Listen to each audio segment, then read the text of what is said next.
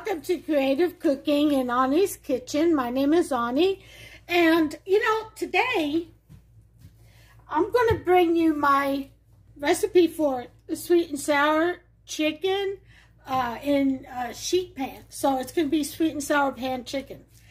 And it is baked as well as seared. So we sear it first. Going to fry that up real quick and then we'll throw it into the pan and then mix all the seasonings and put it in the oven. But let me give you the first part here, okay? We're going to need, because you want to marinate this first. So, you're going to need three eggs. You're going to need about four to five tablespoons of cornstarch, depending on how much chicken you've cut up. About two to three chicken breasts. You could do four. Okay, just remember to adjust, you know, with your uh, marinade products, okay, to how many chicken breasts you're going to use. And what we're going to do is cut it up. I'll show you that. You're going to need about a quarter teaspoon of baking soda also. And here's what we do. We've got our chicken cutlet. We're going to press down.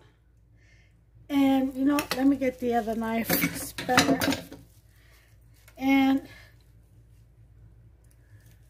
in the center, start cutting back and forth as you press down. Okay. See that? That's what you want. And you just slice it through.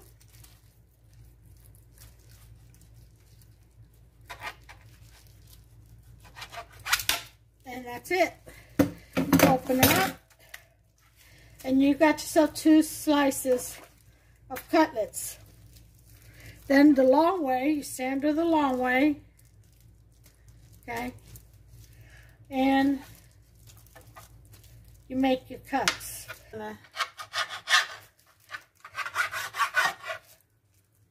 Slice there. Slice there. And slice these two. Throw it in there. Now, I've already mixed my eggs and cornstarch with a quarter teaspoon of baking soda in here. This, the, this is a two chicken breasts right here cut up. And this is my third one.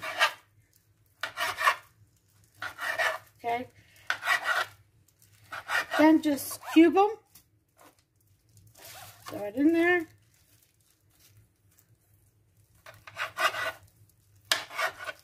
Some parts of the cutlets are thicker than others, so keep that in mind when you're cubing them. Okay. Okay, and the last piece, got a lot of fat right there, so we'll get back to the cats. All right, we are done with cutting. Remember the egg whites, not the entire egg. And in the fridge it will go until tomorrow. I'll be back. Okay, so we're back. It's the next day. And I have taken out my marinated chicken. And I've been resting it for about half an hour. That's what you want to do. You get out the refrigerator half an hour before you're ready to cook it okay? So that's in there. Now it's time to make our mix. I have my bowl here. Now I went ahead and put my sugar and oil in ahead of time and then I'm, because I'm so used to just doing the recipe. And then I said, oh, wait a minute, I've got to show my subscribers what I'm doing. So I went ahead and, and separated some sugar and some oil just for show. So here's what you're going to need. You're going to need one cup of flour okay? Any kind, all purpose, whatever you want to use. All purpose is fine. Uh, you're going to need half a cup of white granulated sugar. Like I said, I've already put that in. You're going to need a quarter cup of oil. I'm using olive oil. You can use canola oil, coconut, whatever kind of oil you desire, okay? So I'll put this back in here. That's actually vegetable oil. I just borrowed it from the pot, the pan, so that, uh, the wok rather, so that I could show you the measurements. You're going to need uh, half a cup of brown sugar. Okay, put that in there. Um, one teaspoon of garlic powder, one teaspoon of onion powder. This is a mix because I mix mine. Okay. You're going to need a pinch of salt. This is an actual pinch of salt. Put that in there. Okay. And then I'm going to swirl this into the cooking oil because I need to get some honey. And I don't want it to stick. So the cooking oil is perfect for it. So you're going to need two tablespoons of honey. So there's one. See how quickly it comes out?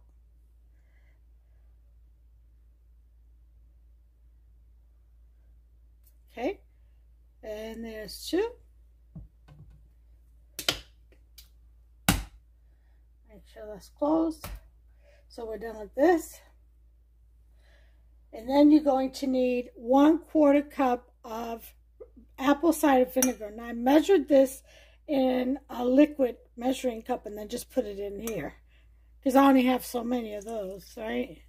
So there's one quarter cup of apple cider vinegar. Then one quarter cup of white vinegar. Okay.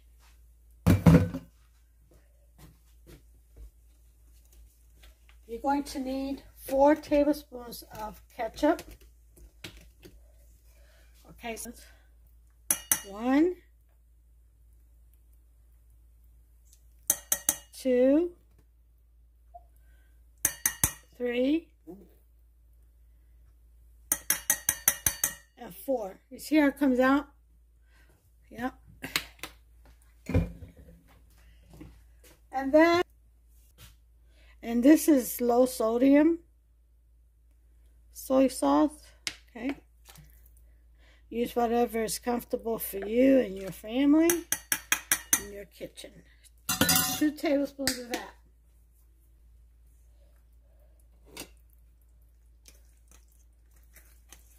In with the flour. If you don't want to use flour, you can use cornstarch. But since we've already got it marinated in cornstarch, I felt we didn't need that.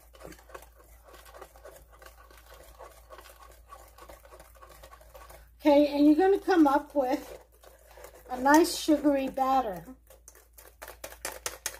Okay with the consistency of almost a pancake mix, but not as thick. Okay, like that.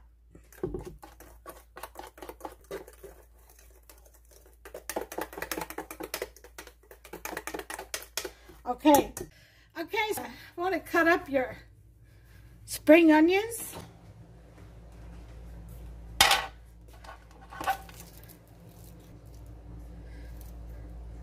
Them as big or as small as you like them.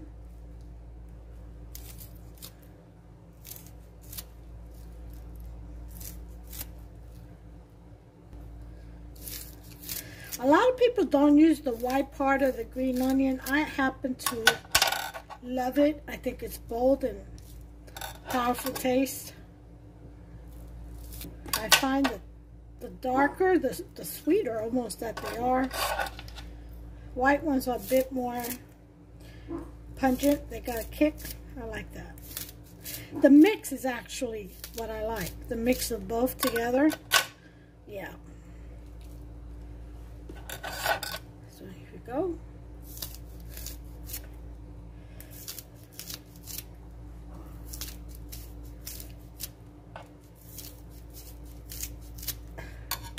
All right, and that is that. These are little suckers right here, you can actually plant, okay, into the ground.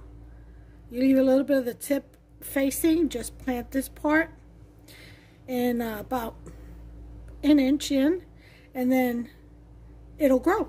Then you'll have some, your very own garden of spring onions. So I'm gonna mix this up. Okay, get some green and white together. All right. And we're gonna sprinkle some of these and then we'll save some of these. And then of course the topping, you can't do uh, sweet and sour chicken without sesame seeds. So you're gonna need some sesame seed. Uh, use as much or as little as you want. I suggest maybe a quarter cup and that should be enough. If not an eighth, just on you, whatever, you know, you would like. So I'll be back and uh, we'll start frying up this chicken. Okay, you want to get your sheet pan. You want to line it up or not. It's on you. Um, I'm going to go ahead and preheat the oven, regular bake, to 325. Hit start. Okay. Make sure I don't have nothing in there. you know how that goes. Sometimes I have bread proofing in there and I forget about it. So we're going to take some oil, a brush, and just, and just brush the sheet pan, okay?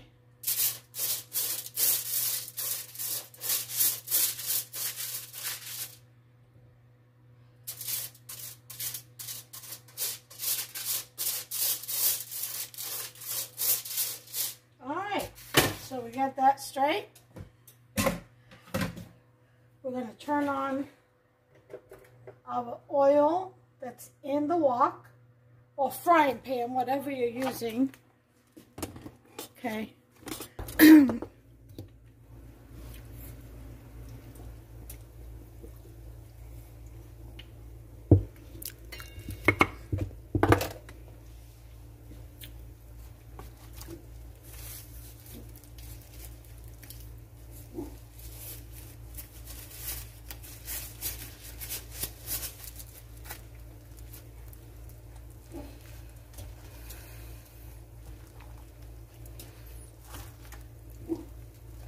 Okay, so you take another cup of flour and you mix it in with the chicken or you can just dredge it in a bowl and then throw it in the fire however you see fit. Okay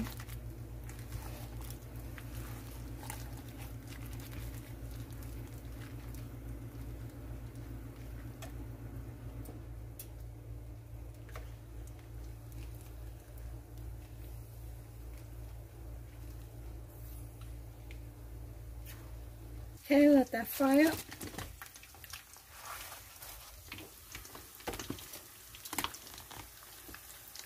I've got some already done over there.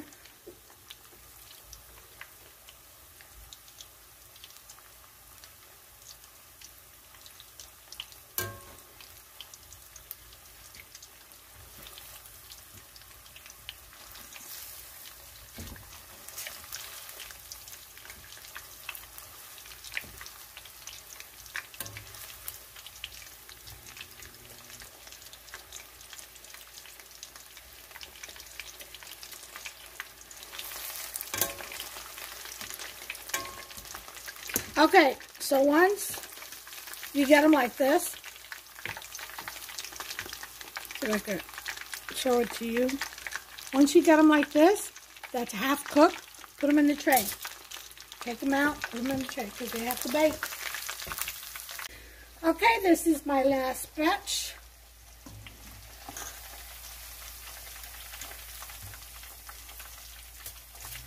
Put that there.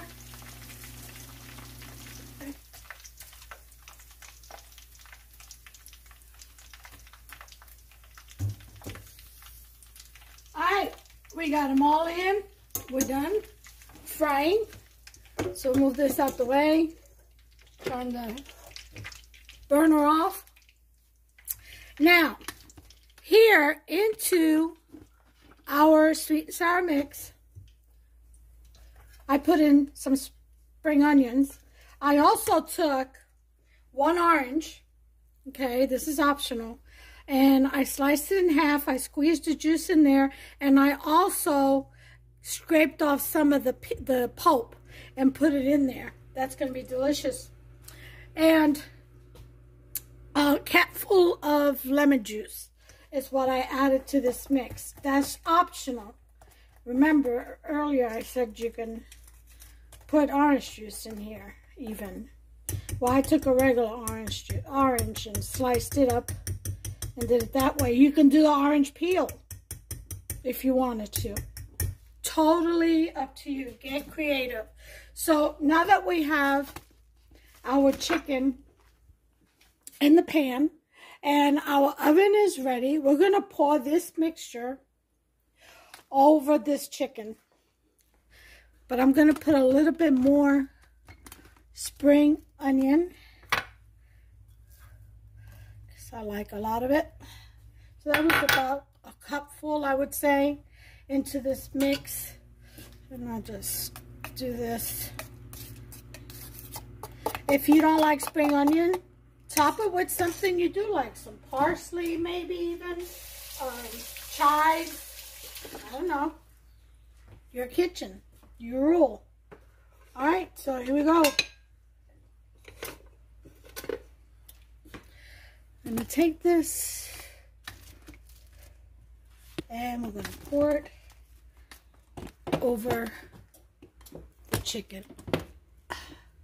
I can't bring the pan here because it's still, the stove is still hot, so I'll just magnify.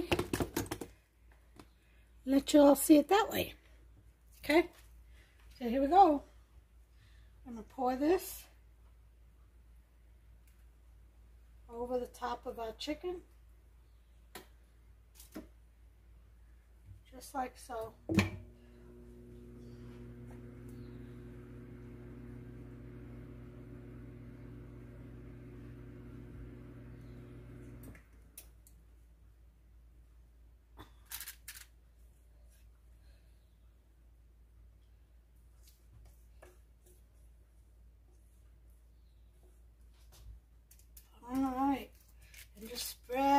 Love around just like so. Mm -hmm. I'm going to say we bake it for about half an hour at 325. Because I cooked the chicken a little too long. I fried them up real good. I tasted a couple too, I'm not going to lie to you. It's delicious. Without the sauce. It's delicious. So I can imagine how it's going to be with the sauce. Delicious. All right. Looks like we got a winner, chicken dinner. All right, there we go. Let's go ahead and pop this in the oven and give it a good 30 minutes. I'm going to serve this with some rice that I already have. In the oven it goes. Alright, guys, it's in the oven. So, timer, 30 minutes. And it's off. I'll be back. Okay, so we're ready here. All right, let's take out our dish. Oh my God, this looks so good. That sugar has adhered to the chicken pieces. Look how beautiful that is. Huh? Look at that. I'm going to put in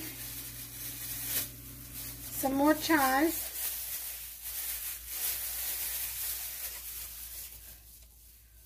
Over top of this. And some sesame seeds. got it. Look at that. Can you see how good that looks? Does it show? Look at that gooiness. Oh, I hope you enjoyed this recipe. I'll bring you the final plate presentation at the end. In the meantime, give me a thumbs up if you enjoyed this video. Go ahead and subscribe. Smash that button. It's over to the right. There's a little bell. If you tap on it and turn it on, you'll receive notifications every time I upload a new recipe. So don't miss out. Let's get creative and have some fun and taste some good foods moderately. Don't forget, follow your doctor's instructions on your diet. And until next time, you all, God bless you. Take care of yourselves and one another. Bye. Mmm, look at that deliciousness right there. Oh, yeah. Isn't that beautiful? Just absolutely gorgeous. So make yourself some. Yum, yum.